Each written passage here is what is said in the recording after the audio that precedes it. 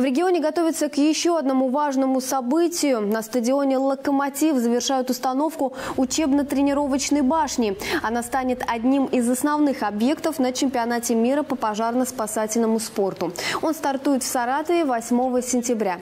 Сегодня рабочие смонтировали специальную предохранительную подушку. Также проводят работы по созданию полосы препятствий. На все эти объекты потратят порядка 16 миллионов рублей.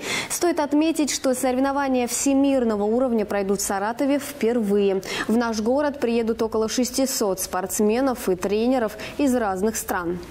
18 августа сюда заедет 16 человек. Это состав сборной мужской команды по пожарно-спасательному спорту. Планируется, что они будут тренироваться вот на этой учебной башне, которую пытаемся собрать, на этом стадионе, отрабатывать и 100-метровую полосу с препятствием, и пожарную эстафету, и боевое развертывание.